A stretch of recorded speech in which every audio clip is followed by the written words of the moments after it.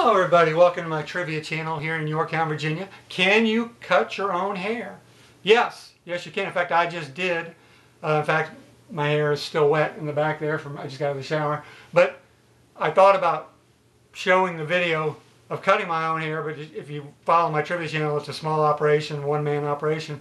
And I was like, well, you got to have the handheld mirror in one hand and the scissors in the other, and then I have to have a third hand for the camera. And so maybe I'll do it another time. I'll talk my brother into filming it. But it can be done. I've done it for years. Um, you know, a lot of you are stuck home with this coronavirus situation. I've done it for years for a couple reasons. First of all, I'm kind of cheap. and I'm 57, I'm kind of cheap. And uh, uh, my dad, my late father was Air Force father, was Scottish, and he uh, he could pinch a nickel and make the buffalo burp, right? The old joke there. And so can I. Uh, what was that? Ernest Saves Christmas. Yeah, good movie. Google it, millennials. But uh, it was heartwarming. But anyway, um, it can be done it just takes a little practice. You won't be good at it first, and obviously you can see this isn't bad. I mean, it'll it'll get you through for a, a, few haircuts until you get back, and then two or three at the salon, and you'll be looking real good again. But this is my haircut. I'm not going to scare John Stamos. I mean, he's he's going to keep the title of world's coolest hair, but uh, this will get you done. And so what you need, you don't really need a lot of materials. You need a pair of scissors.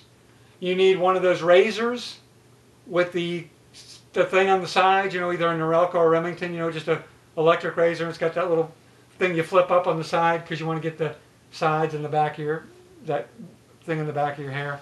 Uh, you need two cotton balls, you need four paper towels, and you need the handheld mirror, okay? And that's the most dangerous thing, the handheld mirror. So I go, I'm going to save you a lot of trouble of errors and pitfalls I've made over the years doing this and show you how to do it. It's, it's not that hard. Okay, so the first thing you want to do, let's go ahead and get started. The first thing you want to do is you want to take two paper towels and put them in the bottom of your sink. Okay, make sure the sink is dry and then close that lever on your sink so uh, hair does, you don't, the last thing you want is to clog up your kitchen sink these days and have to have a plumber come out. You've got enough stress in your life right now. So do that. You'll, you'll figure out later how uh, cleanup will be a snap. So put the two paper towels down. The second thing you want to do is you want to put a cotton ball in each ear. In fact, I just take one big cotton ball, cut it, pull it in half. You don't want to poke yourself in the eardrum with those scissors. Now I'm deaf in my right ear. I've been that way since I was five years old, so you're probably not going to happen. But just better safe than sorry. Put the cotton balls in each ear. Now the third step is you want to make sure scissors aren't too sharp. Okay, don't don't go with the real sharp type scissors that hairstylists use First of all, I use a pair of Singer sewing scissors. They're dull on the top.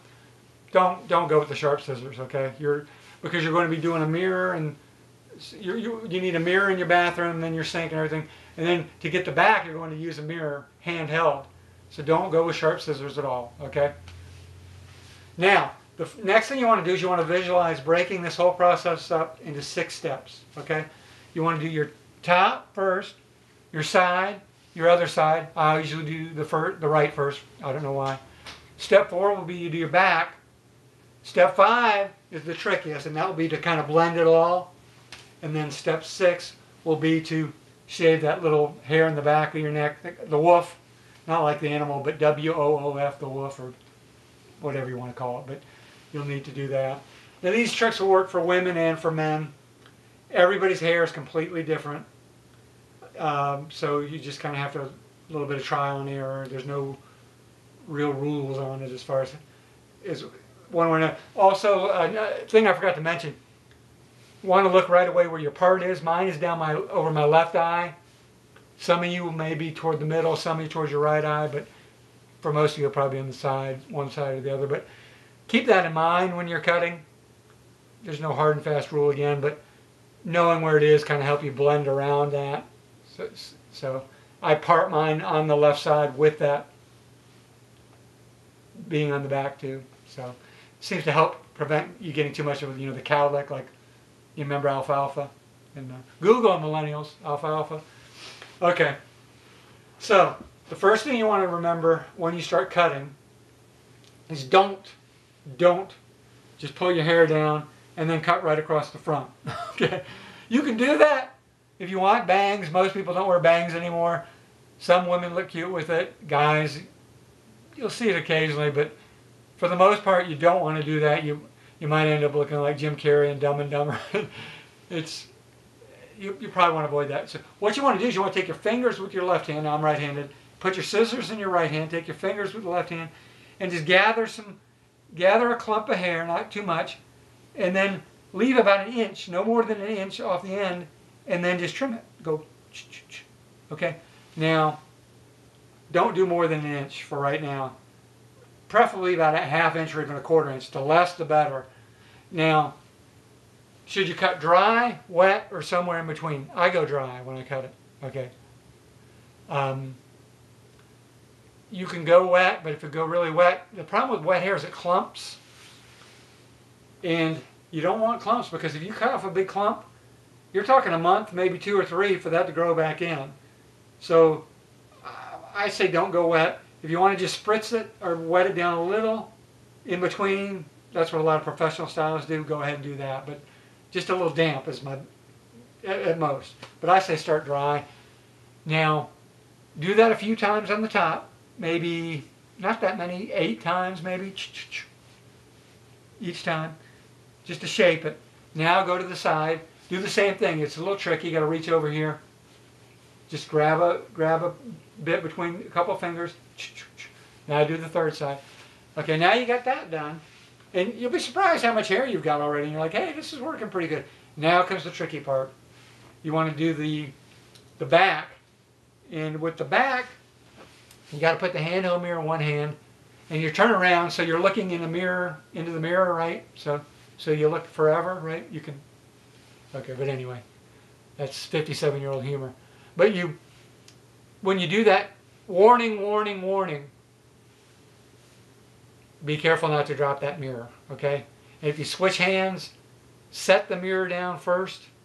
Don't try to switch hands with that mirror and your scissors. Don't Just don't do it because you can drop that mirror and you're going to have a big mess. So the mirrors are real worry. Make sure that mirror stays on the edge, of, away from the edge of the counter too because you can knock it, especially that handle, because you can knock it over accidentally. You don't want that to happen. So be real careful. Keep the mirror back, back, as far as you can.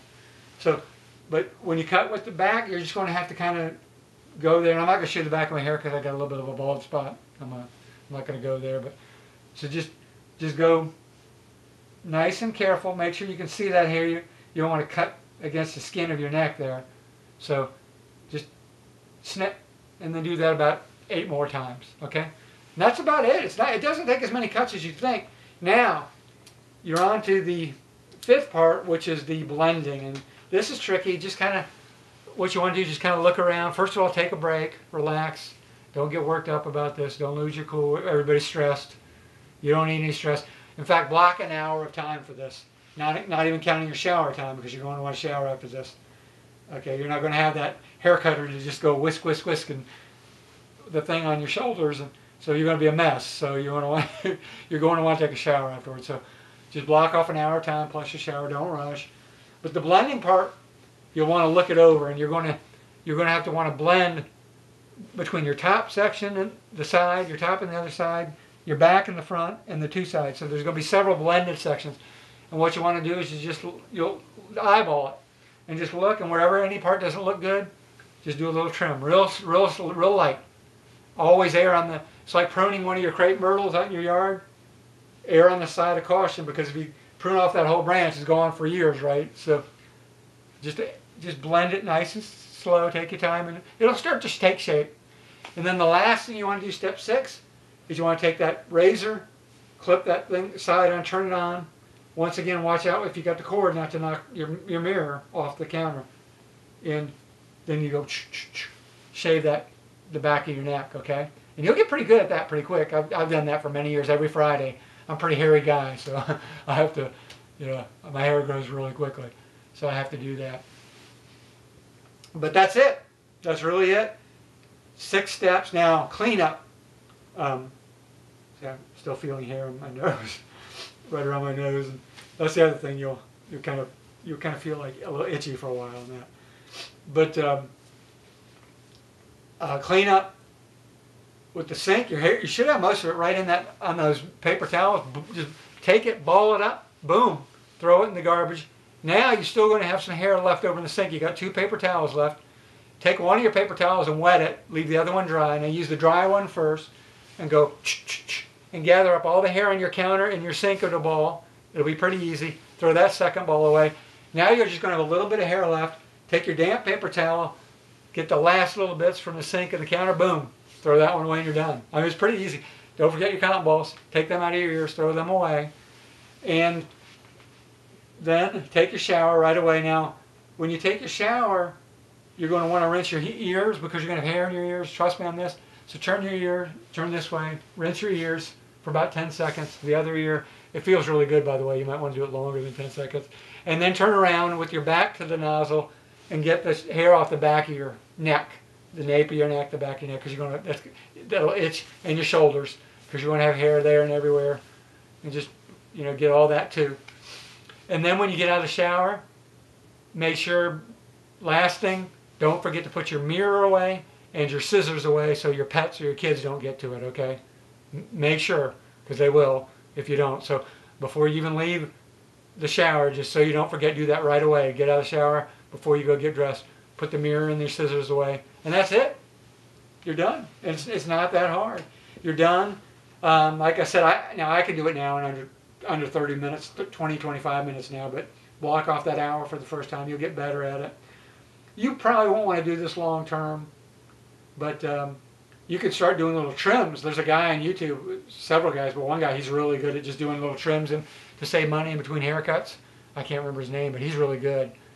And uh, his, you know, he, you know, he's younger. He, he's a, he's a millennial. He's in his 20s. He looks like a million bucks, but you know, but just to get you through your, to your, because we don't know this.